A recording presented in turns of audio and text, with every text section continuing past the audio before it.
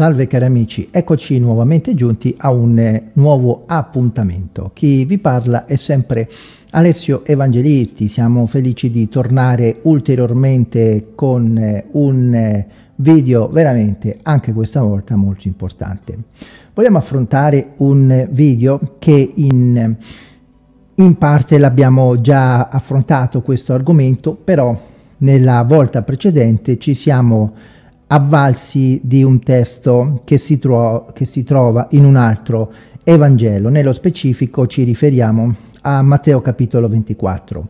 Ora noi sappiamo che poi il sermone profetico si ripete nei Vangeli sinottici. I Vangeli sinottici, per chi non lo eh, sapesse, sono appunto i Vangeli che riguardano i primi tre Vangeli, nello specifico stiamo parlando di Matteo, Marco e Luca, mentre invece Giovanni non è considerato sinottico, infatti non può esserlo, perché viaggia completamente da solo, cioè presenta un discorso eh, completamente a sé, mentre invece i Vangeli eh, sinottici, Matteo, Marco e, e Luca praticamente eh, ripetono eh, molto spesso le stesse cose, ma da eh, punti, come dire, eh, si vanno poi a complementare. Infatti la complementazione è molto importante, così come è importante visitare Matteo 24, appunto il sermone profetico, è bene chiudere il discorso eh, ripetendo e magari aggiungendo cose nuove, avvalendoci questa volta di Luca capitolo 21 che è molto importante. Quindi in parte andremo a ripetere, ripetere fa bene, la scrittura ripete molto, il sistema di ridondanza come abbiamo già detto eh, in, in, molti nostri video, ricordiamo che abbiamo fatto oltre 300 video, e, mh, il, il sistema di ridondanza è un sistema scelto dallo Spirito Santo per eh, comunicare la sua verità e ovviare a moltissime problematiche che eh, col eh, passare eh, dei secoli e anche dei millenni inevitabilmente si sarebbero eh, presentati. Non stiamo qui a spiegare ulteriormente quello che già abbiamo fatto nell'arco degli anni. Quindi chi si sintonizza per la prima volta nel nostro canale a monte troverà una buona quantità di video delucidanti e quindi come si dice un passo dopo l'altro. Benissimo, allora io qui davanti a me ho la mia Bibbia, gloria a Dio, ho una vecchia eh, Diodati e sono posizionato di già nel capitolo numero 21, non ho la più pallida idea eh, di quello che eh, dirò nel senso che ovviamente so che dovrò parlare di quello che leggerò, però questa volta, come eh, spesso accade, eh, di preparato non ho nulla vogliamo ricordare che o ti prepari o non ti prepari, ok? Il Signore guida chi parla. A prescindere, non è che il Signore guida solo chi non si prepara e magari chi si prepara non lo guida, eccetera, eccetera, eccetera. Queste cose già le abbiamo dette. Quindi eh, nessuno è più grande dell'altro, ok? Un sermone preparato non sarà meno che un sermone preparato. Viceversa, un sermone preparato non sarà di più di un sermone non preparato. Dio ci ha creati razionali, molte volte serve per forza di cose prepararsi prima, anche perché uno non è che ha tutti i versi della scrittura nella testa, a meno che non sei eh, uno di eh, quei pochi geni, eh, che sono pochi, che veramente sanno praticamente tutta la Bibbia a memoria. Ma questi sono pochi i comuni mortali sappiamo tutto quello che c'è scritto, però se io apro a caso e ti leggo un, un verso a caso e ti dico, che ne so, ascolta e sia Dio il forestiere che non sarà del tuo popolo Israele, sarà venuto di lontan paese per cagione del tuo grande nome e della tua mano possente e del tuo braccio stesso quando sarà venuto e avrà fatta orazione volgendosi verso questa casa dove sta scritto? Ecco, sicuramente il 99.99 .99 di voi non ne ha la più pallida idea.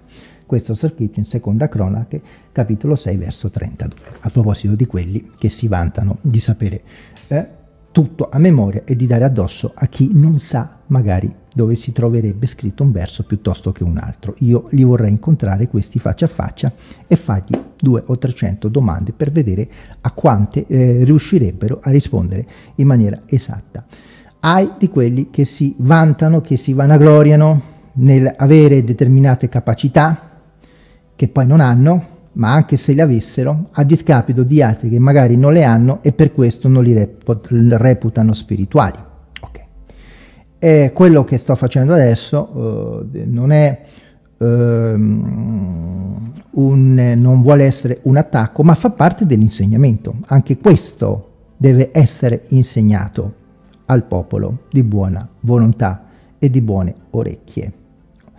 Noi insegniamo Bibbia, questo è un canale che insegna Bibbia e lo fa a 360 gradi. Quindi i giovani e non giovani che desiderano eh, imparare la Bibbia, imparate eh, anche queste cose che appunto vi abbiamo appena eh, apportato, vi abbiamo appena delucidato. Benissimo. Allora, ci troviamo negli ultimi tempi della pazienza di Dio, molto, eh, molto presto la tromba suonerà, e il gioco, eh, scusate il termine ironico, gioco si fa sempre vie più duro, il combattimento si fa sempre più duro e dobbiamo combattere contro mille cose, la vita, le malattie, i problemi, mancanza di lavoro, mancanza mm, di onestà e, e soprattutto tanti venti di dottrina. Siamo pieni di venti di dottrine, moltissime persone si reputano eh, di sana dottrina, vanno dietro a qualunque evento di dottrina, basta che viene uno e ti dice quattro cose e, senza esaminare a fondo tutto il contesto di quello che dice in tutti i suoi video, eh, magari gli, gli vanno dietro e poi ci si accorge che questa è gente terrapiattista o che promuove la Kabbalah e così via discorrendo. Ma noi nel nostro piccolo, questo piccolo canale, vuole perseguire la strada eh, della sana dottrina, tutta la sana dottrina, e chi eh, ascolta può giudicare, ascoltando tutti i video, se in tutti i video si trova la sana dottrina. Chi pensa che in questo canale non c'è sana dottrina, lo si rispetta ed è bene che se ne vada. Benedetto il santo nome del Signore. Ma noi perseguiamo per la lotta alla verità, la verità e la Trinità, il Padre, il Figlio e lo Spirito Santo, che il Padre ha tanto amato il mondo, che ha dato il suo unigenito figliuolo, affinché chiunque crede in Lui e persegua la sua volontà e si santifichi e lo preghi e cammini con Lui come Enoch camminò con Dio, in quel giorno, quando la tromba suonerà come Enoch è stato portato, è stato rapito in cielo, così la Chiesa sarà tolta sarà rapita in cielo per poi entrare nel giorno del Signore, che è di certo non la domenica, ma è il giorno spaventevole e terribile chiamato appunto la grande tribolazione, il giorno del Signore, in quel tempo, in quel giorno, eccetera, eccetera, eccetera. Questa è la generazione che vedrà o comunque si troverà, chi non sarà rapito, si troverà in questo periodo, cioè il periodo che il Signore, la generazione che il Signore porterà via la sua Chiesa, la rapirà su nel cielo e solo dopo o contestualmente inizierà la grande tribolazione. Bene, tutto quello che diremo, che faremo, che leggeremo, lo diremo, lo leggeremo, lo faremo sempre nel nome del Padre, nel nome del Figlio, nel nome dello Spirito Santo, che è benedetto in eterno. Amen. Bene, vogliamo leggere Luca eh, Luca capitolo 21, io vi voglio portare, chi desidera, a navigare con noi. Ecco, benissimo. Allora, in questo momento ci trovate, vi trovate a guardare quello che guardiamo noi. Io non mi ero preparato prima, voglio vedere una cosa. Uh, dove starà? Qua. Allora. Non mi ricordo più dove sta.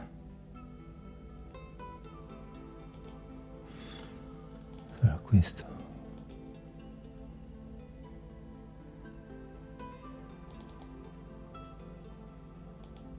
Boh. sarà questo sicuro. Va bene così. Vabbè giusto per curiosità. Come siamo messi?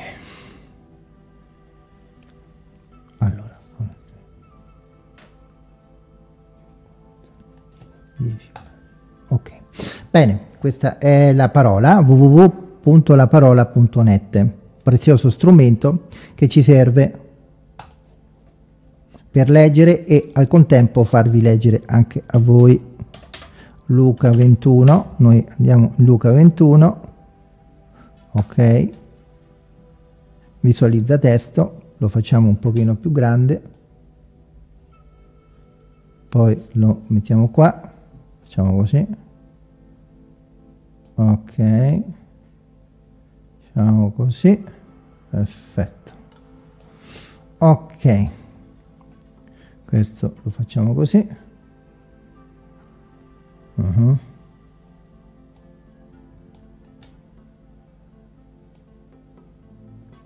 ok. Perfetto. Allora è il verso 5 ok allora eh, è molto è molto quello che troviamo scritto no? Perché è fino al verso 38 però cominciamo dal verso numero 5 benissimo. Allora eh, noi leggeremo e man mano che leggeremo non leggerò tutto per poi riniziare quindi inizierò immediatamente a commentare. Allora il commento si fa come si fa il commento? Tu leggi leggi un passo un verso una parola quello che vuoi e, e poi lo, lo commenti lo spieghi alla luce di un contesto ok questo è molto importante il contesto biblico si matura tutta la vita, cioè tutta la vita tu maturerai il contesto biblico, benedetto il santo nome del Signore. Ecco perché tu puoi sentire eh, lo stesso sermone predicato eh, cento volte, ovvero lo stesso passo predicato, insegnato cento volte da cento persone diverse, e ogni persona lo predicherà eh, cento volte e di volta in volta sentirai eh, cose nuove, insegnamenti nuovi, perché ognuno di noi matura eh, una certa conoscenza e matura anche il contesto sempre più, aggiungendo sempre cose nuove e anche se si dicono cose nuove, ma comunque vanno sempre a posare su un unico fondamento. Cioè tu non puoi dire eh, 10 cose diverse ma che non posano sul fondamento. Quindi ricordate sempre che una verità non ne annulla un'altra. Questo è molto importante. Benedetto il santo nome del Signore. Allora, poi appresso, molto interessante, quando la scrittura dice poi appresso. Per esempio, se io vado in eh, Giovanni 5, dice dopo queste cose. Vedete? Spesso la scrittura, nota, notate, dice dopo queste cose, poi appresso, dopo questo, ora avvenne dopo questo, o, insomma, dopo queste cose, poi appresso. Praticamente il, il Signore ti sta dicendo, poni mente, poni mente che quello che si dirà adesso è molto importante e per essere capito però c'è un contesto che è quello precedente. Ecco, qui torniamo a quello che vi dicevamo pochi secondi fa. Cioè, il contesto è importante nella parola di Dio. Ecco perché la parola di Dio va letta dalla Genesi fino all'Apocalisse, poi riletta e poi riletta e poi riletta. Poi appresso, poni mente a quello che ti sto per dire, ma poni mente anche alle cose che sono state dette prima. Non puoi togliere nulla dalla Sacra Scrittura, come molti usano fare ai nostri giorni. Poi appresso, dicendo alcuni del Tempio che esso era adorno di belle pietre. Ecco qui, gli uomini stanno, come dire, elogiando le pietre, ok? le pietre del Tempio che ricordiamo in quell'epoca il Tempio rappresentava la presenza di Dio. Cioè, quando c'era il Tempio, c'era anche Dio, c'era anche la presenza di Dio, perché così dirà il Signore a eh, Mosè, e non solo a Mosè, lo dirà anche a Salomone, cioè che lui avrebbe dimorato in quel tempio e soprattutto il Signore parlava anche attraverso dell'arca del patto. Interessante notare che a un certo punto sotto Geremia troviamo che l'arca sparisce. Quindi qui abbiamo un tempio con delle belle pietre ma senza arca. Quindi senza parola. Infatti Dio parlava attraverso l'arca o anche se lo faceva attraverso i profeti e così via discorrendo, ma il Signore proprio parlava anche attraverso l'arca, molto spesso lo faceva e quindi l'arca che appunto eh, rappresenta molte cose fra cui in maniera particolare rappresenta Gesù. E nell'arca vi era contenuta la manna, appunto il pane della vita, la parola, cioè i dieci comandamenti, appunto la parola è Gesù, e il, eh, la bara, la verga che aveva appunto germogliato, eh, il virgulto, la radice di Israele, lo zemach, la pianticella, è Gesù Cristo. Quindi l'arca rappresenta la parola, rappresenta Gesù. E c'erano tre cose dentro l'arca, queste tre cose appunto sono tre in virtù del, di onorare eh, la Santissima Trinità, il Padre, il Figlio e lo Spirito Santo. Bene, questo, questo Tempio rappresentava tutto eh, per Israele, ma è da notare che era senza arca. E d'offerte egli disse, quant'è a queste cose che voi riguardate, voi chi? La Chiesa di Gesù Cristo? Qui non c'è la Chiesa di Gesù Cristo, voi ebrei, sta parlando al popolo ebreo, che voi riguardate, verranno i giorni, verranno i giorni che non sarà lasciata pietra sopra pietra che non sia diroccata. Incredibile no notare come più di eh, circa duemila anni fa, eh, diverse decade prima che eh, avvenisse, questo era il secondo tempio, il secondo tempio è durato circa 500 anni, il primo tempio, il tempio salomonico, è durato circa 400 anni, per un totale di circa 900 anni. Quindi il Signore dice, dopo 500 anni, guardate che questo tempio che voi giudei, voi Israele riguardate, sarà distrutto. Sarà distrutto. Pensate che scioccante che deve essere stato per loro ricevere questa notizia che praticamente eh, questo tempio era stato iniziato a essere ricostruito al tempo di Esdra e con eh, Zorobabele, quando c'era appunto Neemia, e poi è stato completamente ristrutturato, ri ingrandito, abbellito in modo mirabile da Erode il Grande e questo tempio rappresentava, era una, possiamo dire, una delle sette meraviglie o, insomma, del mondo, come si suol dire nel linguaggio odierno, e questo tempio, oltre ad essere di una bellezza eh, da un punto di vista umano ineffabile, rappresentava appunto la presenza di Dio in mezzo di Israele, eh, l'accettazione da parte del Signore in mezzo di Israele, malgrado non fosse eh, sprovvisto da ben 400 anni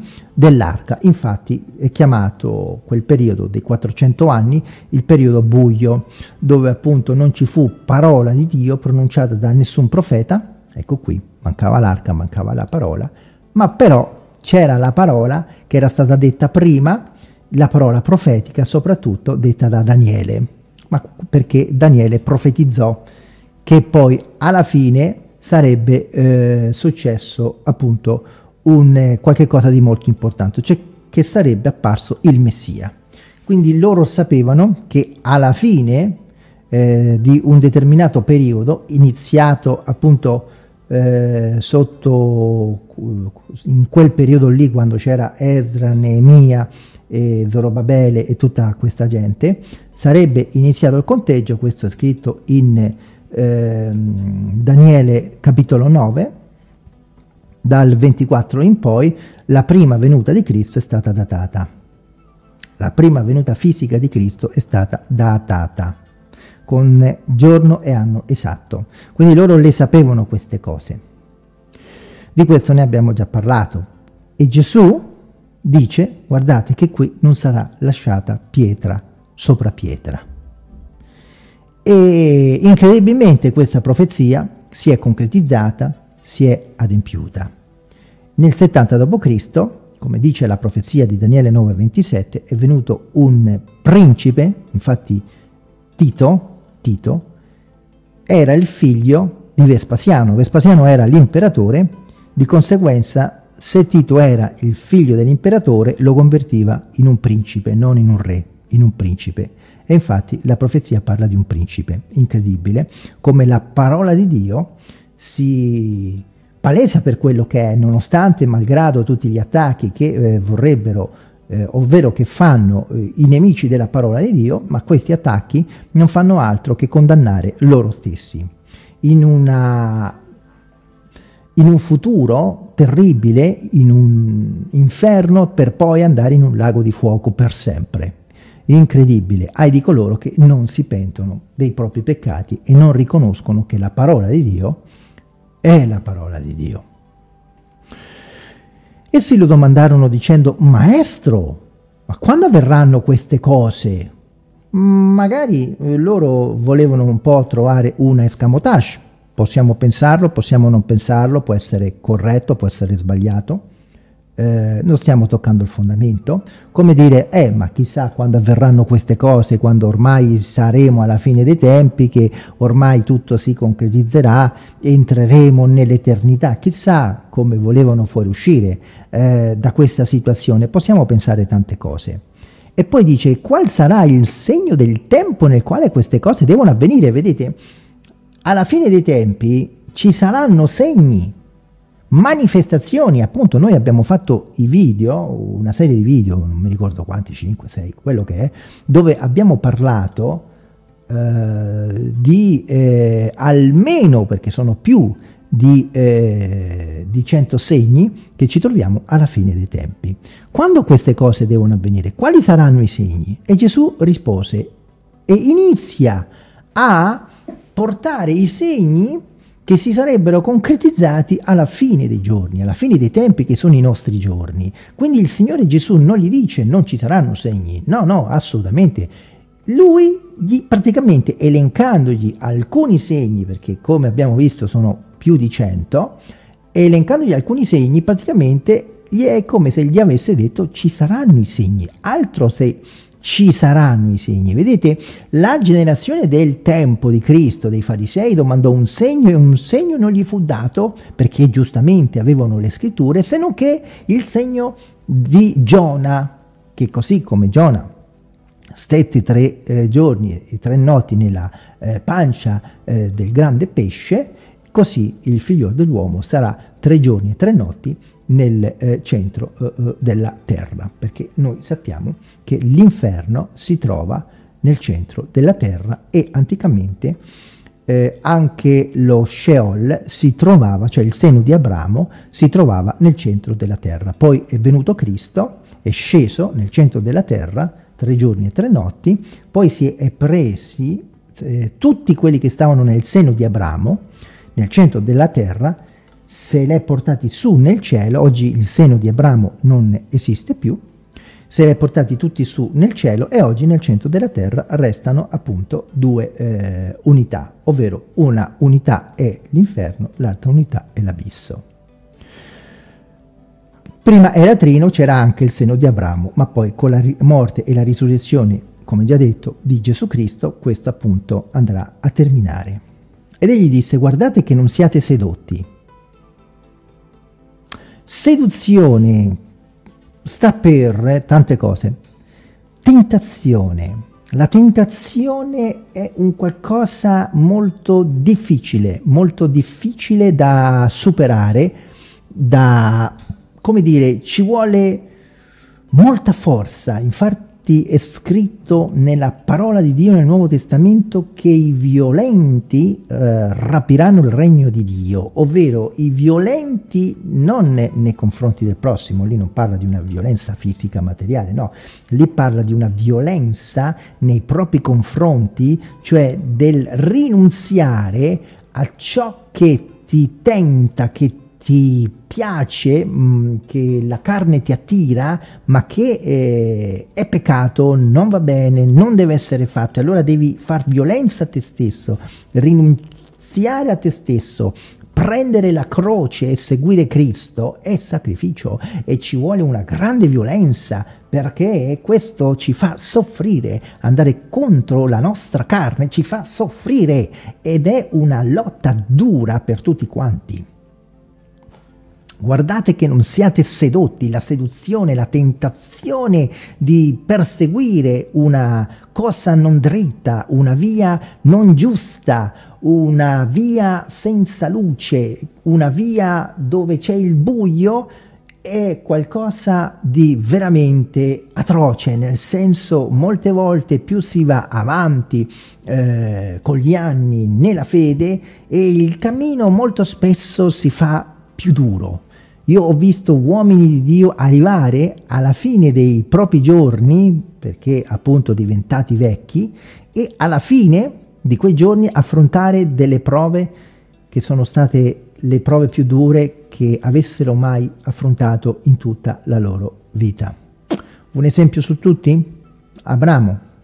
Abramo la prova più difficile della sua vita la affrontò quando ormai era molto vecchio il Signore gli chiese di offrire in sacrificio il suo figliuolo, Isacco, quando ormai era vecchio, aveva... E fu la prova più grande che dovette affrontare Abramo. Vedete come queste cose che noi vi, nel nostro piccolo, per la grazia di Dio, insegniamo, sono tutte cose bibliche. E quindi perché? Perché quando Abramo fu pronto divenne appunto il padre della fede, ma doveva anche manifestarlo attraverso appunto il suo operato, era pronto, prima non era pronto per affrontare quella grande prova. E allora il Signore lo mise alla prova per una infinità di motivi. Ovviamente quel sacrificio non si compì mai. Dio aborrisce questi sacrifici, ma c'è tutto motivo perché il Signore glielo chiese. Altro che. Ma adesso questo esula dal presente oggetto. E dice occhio alla seduzione, occhio alle tentazioni, ci sono mille tipi di tentazioni, ora il Signore ce ne elenca una in particolare, che è quella che ci interessa, soprattutto quando dice, e qui si riferisce al suo popolo, il popolo di allora, Israele, il popolo della fine dei tempi, sempre Israele, quando si convertirà a Cristo e dovrà passare quello che dovrà passare, e ovviamente in questo caso vale anche per noi che siamo la Chiesa di Gesù Cristo, e quindi questo vale anche per noi. E quindi adesso ci vogliamo soffermare a noi che siamo la Chiesa di Gesù Cristo. Alla fine dei tempi dice il Signore, guardate perché molti verranno sotto il mio nome dicendo io sono l'esso, dicendo io sono Gesù, dicendo io sono la verità, dicendo io sono il vero movimento, dicendo io sono la vera Chiesa di Gesù Cristo. Oggi la maggior parte delle persone, come è scritto in 2 eh, Corinti 11,4, sì, seconda Corinti 11.4. Dice Paolo ai Corinzi, una chiesa di collo duro, perché se uno viene a voi per predicarvi un altro Gesù che noi non vi abbiamo predicato, o se voi da esso ricevete un altro spirito, vedete, parola è spirito, di questo ne abbiamo già parlato, no? Perché molti predicano bene, però poi uh, ti mandano sopra uno spirito che è diverso. Ecco qui le cadute per terra all'indietro, tutte queste manifestazioni sataniche Quindi noi dobbiamo controllare tutto, giudicare tutto, come è scritto in Prima Corinti eh, 14-29, mi pare. Quindi o se da esso ricevete un altro spirito che non avete ricevuto, o un altro Vangelo diverso da quello che avete accettato, allora voi lo tollerate. Pensate, allora voi lo tollerate. Wow, stiamo parlando dei Corinti. Oggigiorno la stragrande maggioranza, il 90% della Chiesa, tollera un Vangelo diverso, uno spirito diverso, una manifestazione diversa. Credetemi, quando il Signore rapirà la sua Chiesa, rapirà il 5 e il 6%. Il 5 e il 6%. Io ho visto gente andare dietro, gente andare dietro i personaggi più patetici, David Howard, Sondergaard, gente involucrata nell'esoterismo, Benny Hinn, Guglielmo Maldonado, Eliseo Bonanno che predica che la terra è piatta, predica la Kabbalah, predica i due Adami, predica che ci sono i rettiliani, gente che gli va dietro. E gente che dovrebbe essere di sana dottrina gli va dietro a questa gente. E non mi fate poi i video che se sentite che eh, io faccio i vostri nomi, mi sfidate a confronto. Eh, siete patetici, io non mi vengo a confrontare con voi. E sicuramente direte vediamo se se la fa sotto, ecco bravo sì me la faccio sotto, ho tanta paura, bravo, ve, ve la do vinta a tutti quanti, sì ho paura, ho paura di tutti voi per confrontarmi, quindi siccome io ho paura va bene, ecco, non mi vengo a confrontare, siete contenti? Vi faccio contenti a tutti. E, mh, fratello Giuseppe, che dice di lasciare tutti i lavori, di abbandonare tutti, andarsene a vivere in Sud America, in Centro America, tutta questa gente qua, che noi facciamo i nomi e cognomi. Gente che viene da Satana, gente che, eh, che non predica Cristo, che no, o, o, o ti mischia mezze verità, perché sapete, una mezza verità fa più eh, danni, crea più danni che una verità. Che una menzogna, che sto dicendo, scusate una mezza verità fa più danni che una menzogna totale. Ma è tutta la verità che dà la salvezza. Cristo è la verità. Tutta questa gente qua che è manipolata da Satana, il quale si avvale dei poteri bui, dei poteri oscuri, eh, della massoneria, eh, del, mm, dello gnosticismo, poi alla fine il fondamento di tutto è lo gnosticismo, il cui fine ultimo è quello di portarti al luciferismo, tra virgolette luciferismo, perché sappiamo che Lucifero non esiste più, che c'è Satana, ma loro lo chiamano così, e così via discorrendo. Benedetto è il santo nome del Signore. Quindi, oggigiorno, la maggior parte della gente, come dice appunto, viene abbagliata da questi seduttori dove dicono io son desso, io son desso, prendi l'unzione, ricevi l'unzione, casca per terra, due Adami, ci sono i rettiliani, la terra è piatta, è incredibile, incredibile, incredibile. Non ho parole. la gente che va in chiesa non si sa perché, giovani che vanno in chiesa a lodare Dio, tutti mezzi nudi o vestiti con tutti questi pantaloni stretti, tutti, tutte che vogliono mostrare il suo corpo. Vanno a lodare Dio. Ah, ma che fai? Giudichi, giudichi, giudichi l'apparenza? Ecco, brava, bravo, non giudicare neanche tu me. Zitto, sei, io non devo giudicare te, tu non giudicare me quindi beviti tutto. Oggi molti dicono io sono adesso. Wow. Il tempo è giunto. Non andate dunque dietro a loro. È un comandamento, non andate con loro, L'ecumenismo, lo stare insieme con chi non professa questa dottrina non va bene, non va bene. Noi amiamo tutti, facciamo del bene a tutti, diamo da mangiare all'affamato, sia esso massone, satanista, esoterista, agnostico, ateo, quello che è. Se stai male ti curo, se hai fame ti do da mangiare. Ma la comunione spirituale, no, ognuno a casa sua.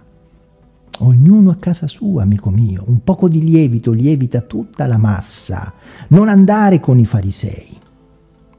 Dice, tutti dicono che hanno la verità. Esatto, tutti dicono che hanno la verità. E allora che significa questo? Annulla l'esistenza della verità assoluta il fatto che tutti dicano di avere la verità ma non tutti hanno la verità? Mm? Rispondi. Materialmente parlando, fuori dalle religioni, se tu hai un figlio, una figlia, tu manderesti tuo figlio o tua figlia con della gente che si droga, si ubriaca, sono dei scellerati, non vanno a scuola o vanno a scuola e poi eh, scavalcano il muro e, e scappano. Tu fre faresti frequentare tuo figlio o tua figlia a chiunque? Non sei uno che si informa per vedere se i propri figli frequentano persone che non porteranno i loro passi su strade poco convenienti? Bene, quanto più spiritualmente. Se ci sono persone che hanno intrapreso la via di Caino, che porta all'inferno, il Signore, che è nostro Padre, e noi siamo i figli suoi, ci dice non andate con loro, non andate dietro a loro. Già, ma oggigiorno molti sono più giusti, più santi di Dio. Sì, sono più buoni di Dio, sono più intelligenti di Dio. Già, che triste situazione. Ora quando udrete di guerre, turbamenti, non siate spaventati. Oggigiorno ci sono guerre, turbamenti, sedizioni. Uno Stato si solleva, come dire, una popolazione si solleva contro il proprio governo. Abbiamo popolazioni, stati interi che si stanno mobilizzando, stanno andando via, vedi quello che sta succedendo in Centro America, che stanno spopolando per la grande violenza che c'è, perché ai di negli ultimi giorni sarà come ai di di Noè. I di di Noè c'era una violenza tale da essere insopportabile, di questo ne abbiamo già parlato. Perciò che convien, convengono che queste cose avvengano prima, prima, cioè queste cose che a noi ci fanno star male, ci fanno soffrire, certamente non ci fanno piacere, ma queste cose si devono, si devono concretizzare, si devono manifestare. Attenzione, quel Signore non è che sta dicendo che queste cose avverranno perché Lui vuole questo, semplicemente Lui conosce che sarebbero successe queste cose perché c'è il libero arbitrio. Dio non ha detto di costruire le bombe atomiche, non lo ha mai detto questo, è l'uomo che ha costruito le bombe atomiche che poi Dio permette, quello è un altro discorso, ma lì entriamo nei piani di Dio. Dio ha sempre permesso questo, perché poi alla fine il corpo, trova il tempo che trova, il corpo è effimero, amico mio, anche se qualora fosse tutta l'umanità arrivasse a vivere cento anni e non morire mai prima dei cento anni, comunque alla fine devi morire. E quando tu morirai, l'anima e lo spirito tuo andranno o in paradiso o nell'inferno. E senza Cristo l'anima e lo spirito, noi crediamo anche lo spirito, c'è chi dice no, lo spirito torna a Dio, vabbè. Ognuno è libero di pensarla come vuole, lì non stiamo toccando il fondamento, noi non crediamo questo, però lo rispettiamo, come dire, non è il fondamento. Non stai dicendo che non c'è Trinità o che la Chiesa passerà per la grande tribolazione e così via discorrendo. E quindi eh, alla fine il corpo finisce.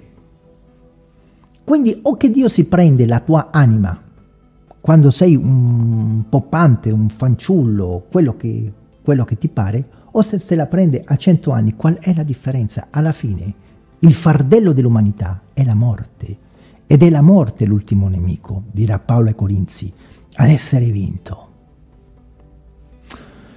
Conviene, convengono, conviene che queste cose, conviene che queste cose avvengano prima, ma non però subito appresso sarà la fine, perché ci saranno molti altri segni. Allora disse, come abbiamo potuto vedere nei nostri video, allora disse loro, una gente si leverà contro un'altra gente, un regno contro all'altro regno.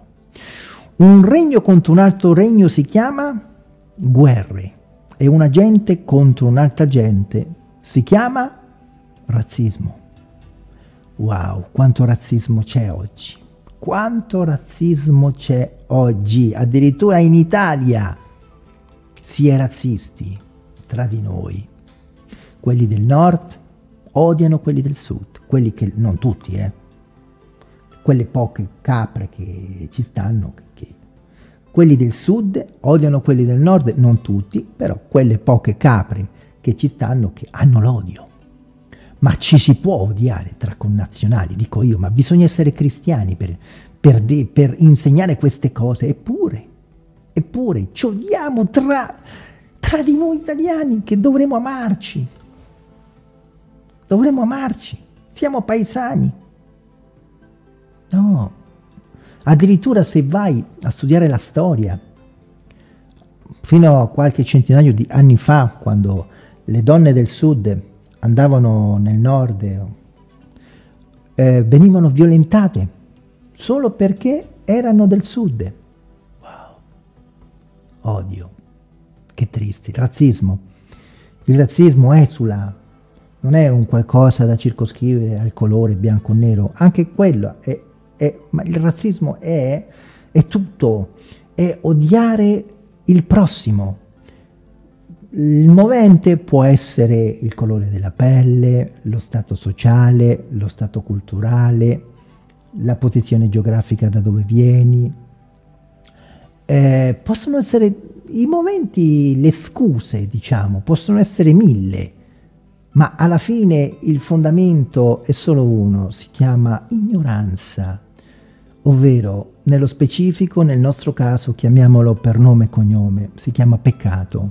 Il peccato ti rende ignorante, il peccato ti rende una capra, il peccato ti rende, userò un termine che eh, non è carino, ma è giusto usarlo in questo caso, il peccato ti rende un cretino e un imbecille. Perché uno che odia un altro solo per il colore della pelle, o per la posizione geografica o per il sesso, razzismo tra uomini e donne, o per la posizione economica o per la posizione culturale è un cretino ed è un imbecille, è uno stolto, è un chesile, un navalle, un iveled, come dice il linguaggio originale. Una gente si leverà contro un'altra, quanto razzismo c'è, wow. Vedete Hitler, la razza ariana, ma dove, voi vi immaginate milioni di persone sono andate dietro a questo pazzo? In, eh, Hitler è stato un prototipo, un archetipo, si dice in italiano, archetipo, um, scusate, eh, del, un precursore eh, della futura bestia che deve apparire, dell'anticristo. Milioni di persone sono andate dietro quel pazzo scatenato che alcuni dicono di rispettarlo come persona, ma quello non è stata una persona, quello è stata una bestia, un animale. Wow, voleva creare una razza, faceva, mm, non so se clonava, faceva le persone che tutte dov dovevano essere bionde con gli occhi blu, o verdi, o vatte la pesca. Un pazzo scatenato, massone satanista, faceva parte della alta massoneria, faceva parte del vril, di un'associazione massonica di ultrastampo segreto, dove dietro c'era gente come Rockefeller, come ste, Rothschild, tutta questa gente qua che lo ha sovvenzionato.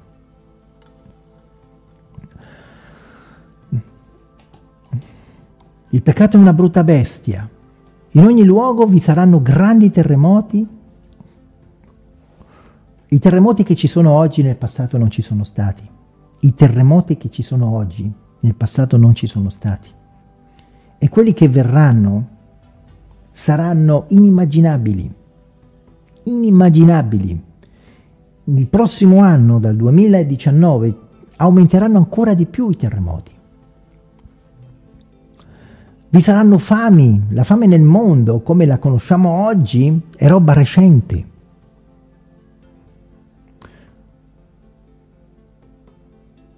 E cose metteranno le mani sopra di voi e vi perseguiteranno, dandovi mano alle radunanze e mettendovi in prigione, traendo voi ai re e ai rettori per il mio nome. I primi discepoli hanno dovuto subire questo e oggi sono duemila anni che stiamo subendo questo e ancora oggi come non mai la Chiesa viene perseguitata, anche qui in Italia siamo perseguitati, sapete? Alcuni dicono che, mm, perché sono capre, che noi vi nascondiamo la verità, come se voi non foste in grado né di intendere né di volere. Quando sono duemila anni ancora oggi, dove centinaia di migliaia di persone ogni anno lasciano la propria vita in testimonianza, in testimonianza di questo Evangelo. E tu pensi che un pastore, un missionario, un, un semplice credente che lascia la propria vita, pensi che lui stia mentendo? Poco, pochi giorni fa è morto un ragazzo, è andato un missionario, per l'ennesima volta è andato in quell'isola lì che si trova in India, eh, dove c'è una tribù che praticamente tutti quelli che si avvicinano li uccidono e questo ragazzo è andato, non è il primo che muore così, a portargli il Vangelo di Gesù e anche questa volta l'hanno ucciso. È la tribù dei sentinella, è chiamata, i sentinella. l'isola dei sentinella o qualcosa del, del genere. Trovate tutte le informazioni su YouTube o in giro per il web. E là dove nel 2004 ci fu lo tsunami che andò su quell'isola e insieme a tutte le altre isole in quell'isola fece dei danni inimmaginabili, ma questa è un'altra storia.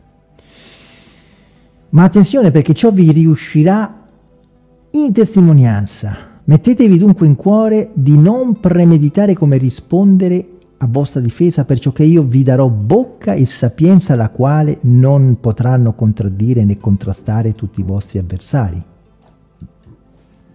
Quando noi andiamo davanti a un tribunale, veniamo processati perché? Perché predichiamo Cristo. Qual è il peccato, signor giudice, nel predicare Cristo? Qual è il peccato?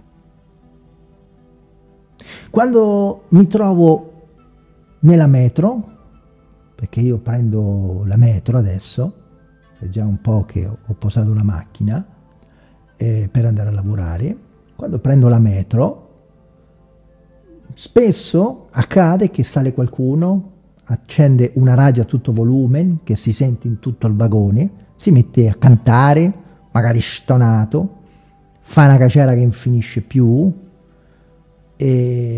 altri si mettono a suonare, fanno una caciara che non finisce più, nulla in contrario in tutto questo, e tutti fanno silenzio, tutto a posto. Ma se uno viene e si mette a predicare Cristo,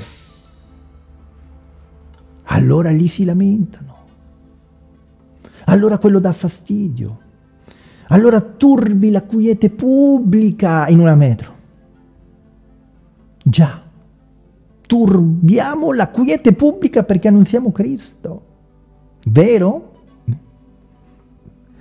Poi quello lì che strilla tutto stonato che alcuni ti chiedono i soldi anche in maniera coatta, quello non disturba la quiete pubblica. Lì tutti zitti, ma quando viene un predicatore dell'Evangelo, ai il mondo. Il mondo sarà giudicato molto presto, è già iniziato anzi il giudizio del mondo. Già è all'opera, Dio farà tremare la terra, altro che terremoti e tsunami. Dice Dio manda i terremoti e tsunami, caproni, intanto l'uomo crea i terremoti, con il harp e tante altre cose. E poi sì, ci sono anche terremoti che, che, che, sono naturali, che vengono da sé, altri creati dall'uomo e altri vengono da Dio. Giusto, giusto, giusto, giusto. Dio farà tremare la terra. Dio perché manda terremoti e tsunami? Per amore. Per amore. Lo abbiamo già detto. Uno di questi è stato lo tsunami di Socotra, di Sumatra, da, quelle parti là, 500.000 morti, Dio lo ha mandato, perché? Per amore. Qualcuno dirà sei un pazzo, sono un pazzo, ora te lo spiego. Cosa c'è lì? In, già le abbiamo dette queste cose. Cosa c'è lì? In Socotra, in Sumatra, lì dove c'è stato lo tsunami che è del 2004, che cosa c'è lì? C'è una delle reti di pornografia infantile più grandi del mondo la maggior parte dei genitori fanno i figli e poi li prostituiscono. Bambini di 5, 6, 7, 8 anni li prostituiscono, li vendono, prostituzione, vendita di bambini, commercio d'organi di bambini. Bene, bene tra virgolette. Che fa il governo? Niente. Si lava le mani, è complice, prende i soldi. Mm-hmm. E cosa fa l'Occidente? L'Occidente che alza sempre la voce. Ah, Israele si sta comportando male, questo sta facendo quest'altro, eh, questo sta facendo quest'altro. Lì tutti zitti, l'Occidente tutto zitto, gli americani zitti, nessuno dice niente, non solo. Cosa fanno gli occidentali, la popolazione, gli europei, gli americani? Più grande, il più grande turismo sessuale che andava e che va ancora in quelle parti per andare a comprare sesso da bambini viene dall'Europa, viene dagli Stati Uniti.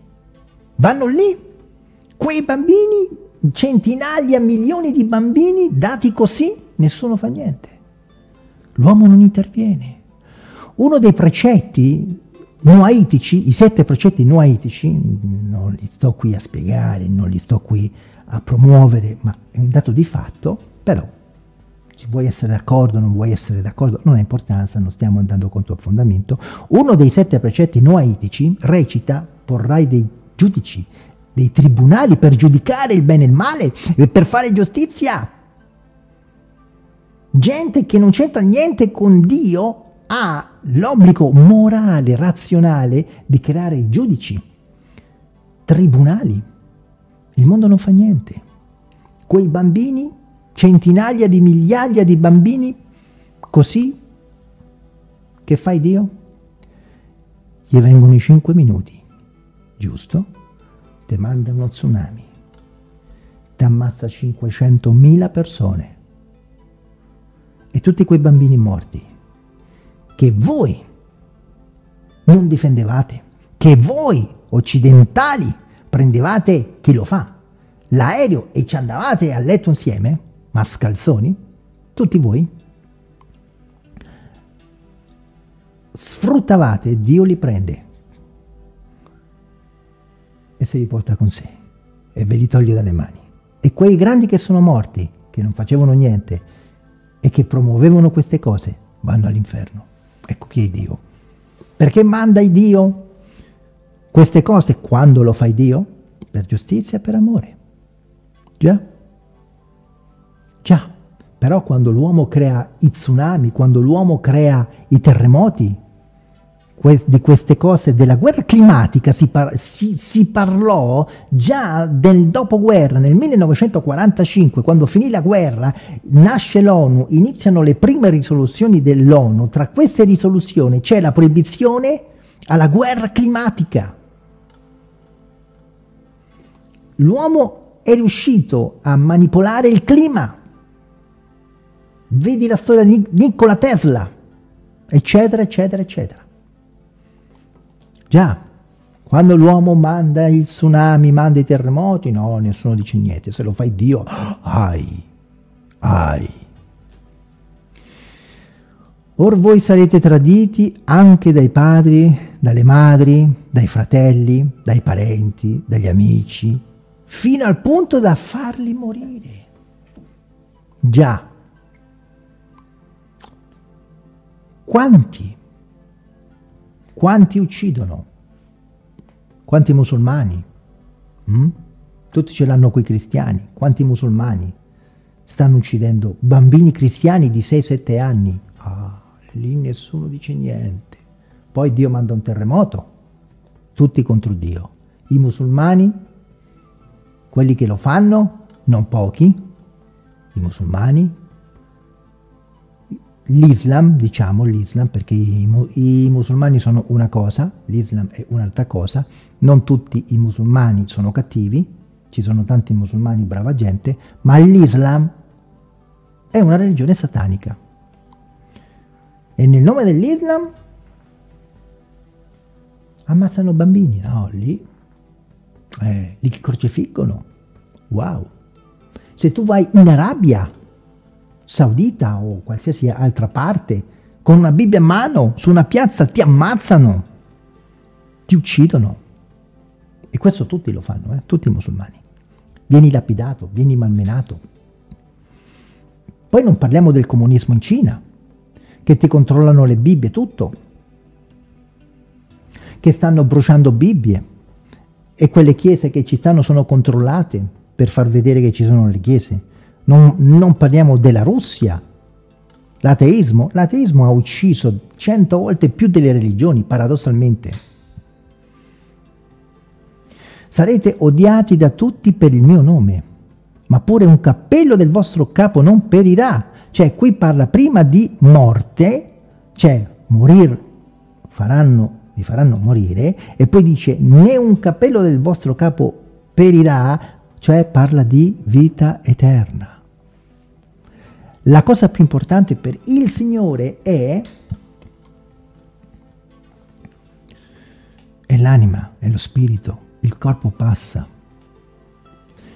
Infatti possederete le anime vostre per la vostra pazienza. Pazienza nella sofferenza, pazienza appunto come abbiamo letto all'inizio, quando leggemmo che saremmo stati tentati, cioè sedotti, eccolo qua, pazienza nel sopportare la seduzione, la tentazione, le persecuzioni, come abbiamo potuto leggere, altro che prosperità, ricchezza. Certo, Dio, Dio ti aiuta, ti dà un, un buon lavoro, non ti fa mancare il pane, tante cose. Dio le fa queste cose, è vero, ma non che ti fa diventare ricco miliardario. Come predica l'Evangelo falso della prosperità, che alcuni dicono Benihin si è convertito, Benihin non si è convertito. Benihin non si è convertito, Benihin è un gesuita infiltrato e il fatto che ha rinnegato il Vangelo della prosperità non significa che si sia convertito. Aprite gli occhi. E Billy Graham, per chi non lo sapesse, è stato un massone. Un massone ecumenico. Lui stesso lo ha dichiarato al New York, New York Times. E lui stesso ha detto queste cose e molti di voi andate dietro un uomo, Billy Graham, promuovete un film satanico. Pentitevi, come mai non avete discernimento? Mm? Come mai? Ma come stai? Come stai? Billy Graham, wow, Billy Graham. Gesù lo abbiamo tolto dal pulpito, la parola di, di, di, Gesù lo abbiamo tolto dal pulpito e sul pulpito ci abbiamo messo il film di un uomo, tra l'altro massone, massone, massone, Billy Graham è stato un massone, sta all'inferno insieme a quell'arto delle Adi, il vostro amatissimo. che mo sta sottoterra due metri a prima porta, poche parole buon intenditore. Massoni sono massoni. Quell'altro che sta sotto due metri, sottoterra, che sta all'inferno, delle assemblee, ha detto a mio padre, buttati in politica, che ti farò fare una grande carriera. Sono massoni. Siete massoni. Il mio cognome è Evangelisti. Io le cose le so. A poche parole, buon intenditore, che deve capire, capisca. Ora, quando vedrete Gerusalemme circondata da eserciti, sappiate che allora la sua distruzione è vicina. Questa profezia si è concretizzata nel 70 d.C., si riconcretizzerà alla fine dei tempi perché la storia si ripete. Ecclesiaste 1.9, Ecclesiaste 3.15. Allora coloro che saranno nella Giudea fuggano ai monti, coloro che saranno dentro di essa dipartansi e coloro che saranno su per i campi non entrino in essa. Sta parlando della fine dei tempi, oltre che la storia si ripete, queste cose si sono concretizzate nel 70 d.C. Vedi la fine che ha fatto il Qumran. Ok? Perciò che quei giorni saranno giorni di vendetta. Dio è un giudice e un vendicativo. A me la vendetta, dirà il Signore. Dio è fuoco. Ai, è cosa terribile cadere nelle mani dell'Iddio vivente.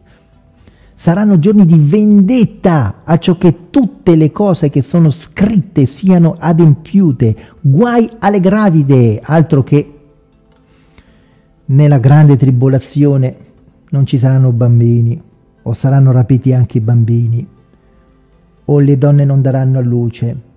No, ci saranno donne che daranno a luce. Il fatto stesso che non tutti i bambini saranno rapiti lo, lo dice Apocalisse 13 quando dice eh, vi eh, metteranno il marchio della bestia, piccoli e grandi, piccoli, piccoli sono i bambini, caprone, apri la mente, scusate il, eh, il francesismo caprone, ce l'ho con gli apostati, eh? no con i cari fratelli. Guai alle gravide e a quelle che latteranno in quei dì, bambini nella grande tribolazione ci saranno, apri la mente no che rapirà tutti, rapirà solamente i figli dei credenti. Qualcuno dirà, ma perché? Qualcuno mi ha chiesto, perché il bambino viene salvato in virtù del credente? Non è personale la fede? Apri la mente. La salvezza è personale, non può essere generazionale. Ok? Il bambino non viene salvato perché il padre è credente, il bambino viene salvato perché è bambino e come bambino è un angelo di Dio e quindi è già salvato. È il corpo che gli viene fatta questa grazia in virtù del fatto che i suoi genitori sono cristiani. Gli altri bambini che non verranno rapiti, non per questo non sono salvati, ma il loro corpo resta qui. E poi ci saranno tutte le calamità e le sciagure, ovviamente moriranno come sono morti quei bambini quando c'è stato il diluvio, ma i bambini che sono morti quando c'è stato il diluvio, anche se sono morti, non è che la loro anima e il loro spirito sono andati all'inferno, assolutamente no, sono bambini, sono angeli di Dio, sono andati su nel cielo. Possibile che non, non si capiscono queste cose, ma lasciamo stare. Scusate la mia franchezza, che io non ho tempo da perdere perché vedo credenti che hanno una marea di anni alle spalle e stanno ancora con l'ABC della Bibbia. Quando dirà l'Apostolo Paolo, voi dovreste essere dei maestri, ma dobbiamo tornare ai rudimenti essenziali, basilari. E l'Apostolo Paolo li rimproverava, giusto? Si chiama amore. Perciò che vi saranno gran distretta nel paese e ira sopra questo popolo. Questo popolo sta parlando di Israele. Cadranno per il taglio della spada, saranno menati in cattività fra le genti. C'è stato, vedete come si alterna da, eh, questo l'abbiamo già spiegato nel video della, eh, di Matteo 24, si passa da un secolo all'altro, da un millennio all'altro, da un'epoca all'altra. Queste cose si sono già concretizzate, gli israeliti, gli ebrei sono stati menati in cattività fra tutte le genti, Gerusalemme è stata calpestata dai gentili, finché i tempi dei gentili non sono stati compiuti. Quindi dal 70 d.C. Gerusalemme è stata terra dei gentili fino alla guerra dei sei giorni nel 1967, quando con la guerra dei sei giorni gli ebrei riconquistano, riconquistano Gerusalemme. Poi appresso vi saranno segni nel sole, nella luna, nelle stelle. In... Fermiamoci qua. Abbiamo fatto un video intitolato La fine del mondo. Qui nell'originale in greco antico il eh, termine segni, nel greco antico c'è scritto semeia, nell'antico eh, testamento nella Settuaginta porta semeia terata, che tra le tante cose significa stendardo, immagine e anche bandiera. Dopo il 1967, quando abbiamo fatto il video, Gerusalemme è tornata agli ebrei, perché appunto è stata calpestata dai gentili fino al 67, 1967, solo dopo, poi, vedi, tieni mente a quello che è successo prima, poi, nel 1969 la NASA va sulla Luna, va sulla Luna e pone un semeglia che significa anche bandiera. Due anni dopo, poi. Abbiamo fatto il video intitolato La fine del mondo, lo potete vedere. E nella luna e nelle stelle, infatti poi dopo Semeglia Terata significa anche stendardo, immagine, infatti con i satelliti che hanno delle immagini e quant'altro nello spazio, tutto questo è successo dopo il 1967 quando Israele è tornata essere, quando Gerusalemme è tornata ad essere ebrea. E in tempi e in terra, ah, e poi e durante e nella terra angosce tra le genti con ismarrimento, rimbombando il mare e il fiotto, quando mai il mare ha destato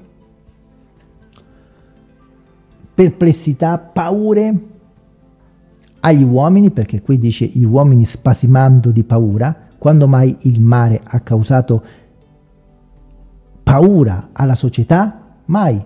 Ma oggi lo sta destando perché ci sono gli tsunami e perché il mare si sta alzando e gli scienziati hanno detto che stanno scomparendo le isole come scritto in Isaia e il, e il mare sta cambiando le sue correnti, il clima, la salinità e tutto quanto e questo sta facendo, sta concretizzando il cambiamento climatico. Il mare è diventato un problema per le nazioni e gli uomini spasimando di paura dell'aspettazione delle cose che sopraggiungeranno al mondo perché qui parla della fine dei tempi, lo questo lo specifica in Marco però, perché le potenze dei cieli saranno scrollate e allora vedranno il figliuolo dell'uomo venire in una nuvola con potenza in grande gioia. Qui non sta parlando del rapimento della Chiesa, sta parlando della seconda venuta di Cristo che dirà Marco, queste cose avverranno alla fine della grande tribolazione. Prendiamola tutta la parola di Dio. Sta scritto in Marco Marco 16, lo vado a cercare nella mia Bibbia per fare prima, dovrebbe essere Marco 16, il verso non me lo ricordo, no che è Marco 16, ma che sto a dire, non è Marco 16, perché ho detto Marco 16? Vabbè, mi sono sbagliato. Non mi ricordo più... Allora, aspetta un po' un attimo. Eh, allora, allora. Mo voglio capire no Marco 13 eh sì Marco 13 me ne sono sbagliato Marco 13, perché 16? Sono 16 capitoli. Eh...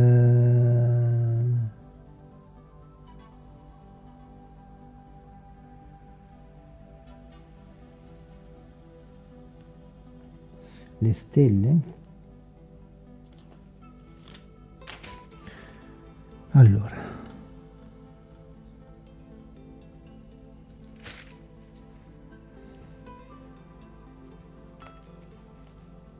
se io vado a Marco 13 e faccio così vediamo. Marco 13 allora devo fare scusate cioè, metterò. Allora eccolo qua ma in quei giorni dopo l'afflizione dopo l'afflizione, dopo la grande tribolazione, allora il sole si oscurerà, allora la luna non darà il suo splendore e allora le stelle del cielo cadranno.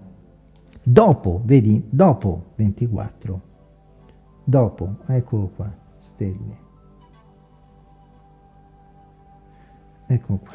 Dopo, vedete, la scrittura va presa tutta. Qui sta parlando, che non lo vedi perché si complementano, eh, Marco 13, Luca 21 e Matteo 24, si complementano. Ecco qui i Vangeli sinottici, ecco qui il termine sinottico. Stremando di paura e d'aspettazione, le potenze dei cieli saranno scrollate, dirà Marco alla fine, dopo la grande afflizione, dopo, e lì non c'è il rapimento della Chiesa, lì non c'è, come in Matteo 24 verso 21, Lì non c'è il rapimento della Chiesa, ma di queste cose ne abbiamo già parlato. E allora vedranno il figliolo dell'uomo venire quando Gesù verrà, verrà con la Chiesa. Una cosa è la venuta di Cristo, una cosa è il rapimento della Chiesa. Quando, vabbè, qui mo entriamo in un altro,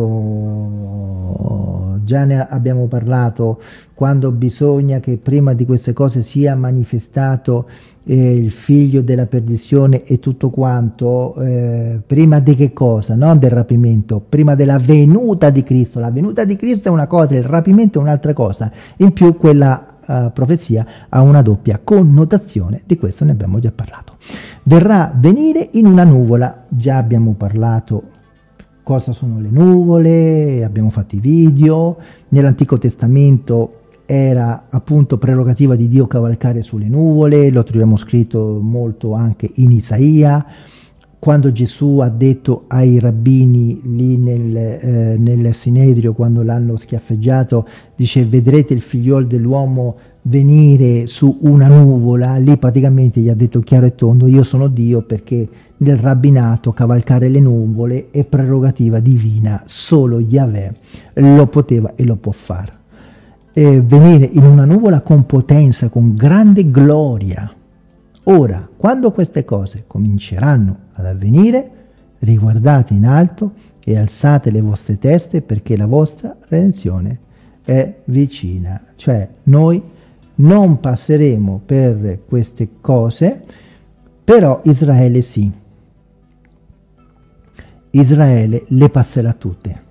La Chiesa non passerà per queste cose, ma qui, quando queste cose cominceranno ad avvenire, sta parlando degli ebrei, gli ebrei passeranno tutta la grande tribolazione.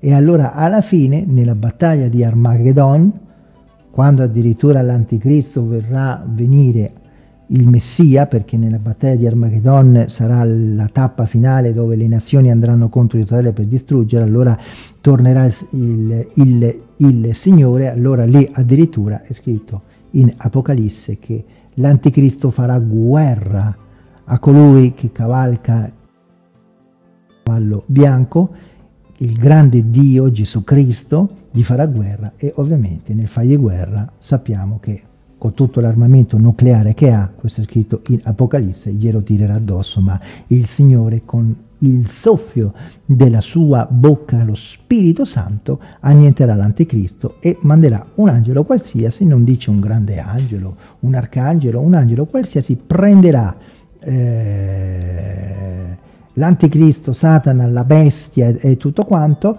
e legherà Satana, legherà questo angelo Satana e lo getterà nell'abisso per mille anni.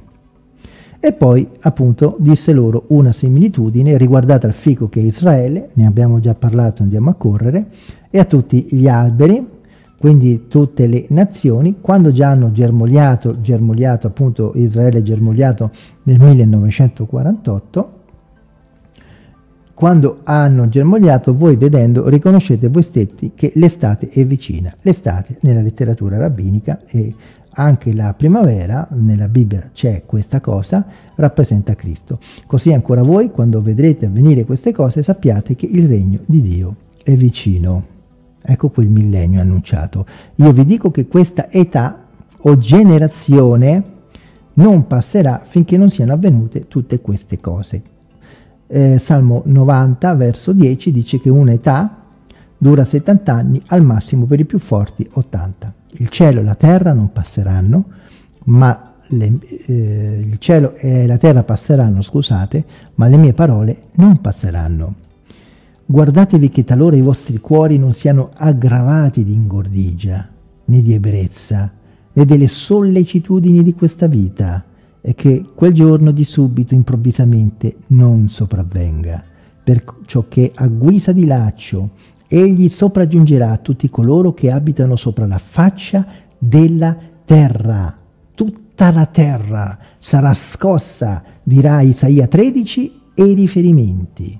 Vegliate, altro che cascare per terra indietro e dormire. Veglia o fare yoga e annullare la tua mente. Veglia, stacci con la testa. Il cristiano non va che, non capisce più niente o che annulla la sua mente o che annulla il suo spirito o che casca per terra all'indietro e si mette a dormire. Queste vengono da Satana queste cose. Il cristiano veglia ci sta quando prega veglia. È sempre con la testa accesa il cervello sempre in moto. Vegliate dunque orando in ogni tempo a ciò che sia reputati degni di scampare di tutte le cose che devono avvenire, scampare tutte le cose. La Chiesa scamperà perché sarà rapita.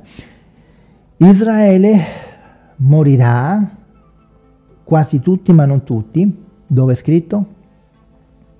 I 144.000 moriranno, i due testimoni moriranno, gli ebrei saranno perseguitati e molti cadranno per la spada, ma solo il rimanente, dirà, mi pare Isaia, sarà salvato. E mi pare che Paolo lo riprende questo passo in Romani, mi sfugge adesso, di comparire davanti al figliuolo dell'uomo, cioè Gesù.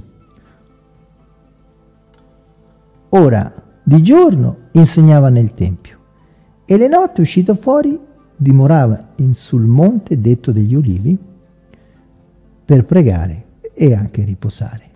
E tutto il popolo la mattina a buon'ora veniva a lui nel tempio per udirlo. Chi si sveglia presto. C'è un detto. Bene. Approfittiamo insomma il tempo. Questo è stato il video.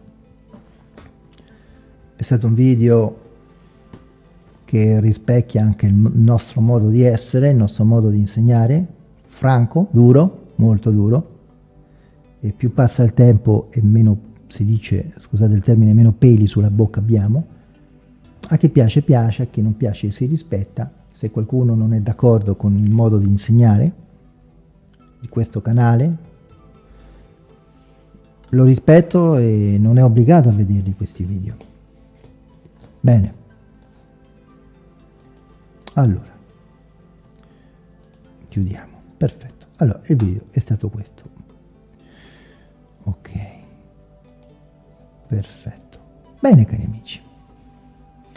È giunto il finale del video. Che Dio vi benedica. Grazie per essere stati con noi.